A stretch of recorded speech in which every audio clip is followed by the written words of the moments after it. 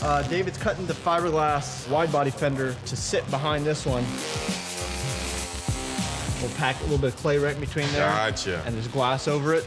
These airmen, each and every one of them are into, on their free time, building their own cars. I just recently built an import drag car. This truck that I did, I completely tore it down to the bare frame. When you're a car guy, you're a car guy. We all gotta have parts. We all gotta have power.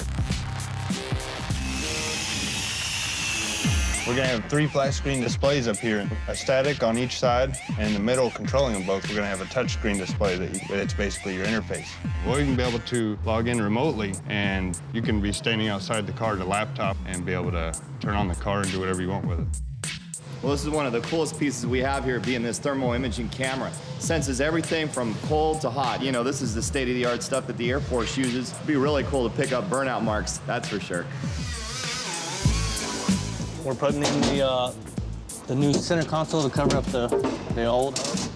Working on the dash, which incorporates three TV screens. Had to work on the skeleton. We're putting two pieces that we fabricated yesterday in, and those are actually gonna hold the screens on left and right. Basically just finished installing the muffler system. When this valve is open, it's gonna be really, really loud.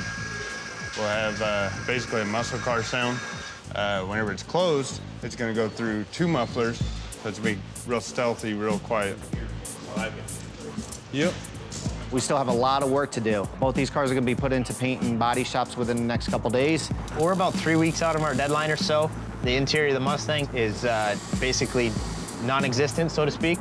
It's definitely coming down to the wire. It's definitely the most work we've been asked to do in a short period of time.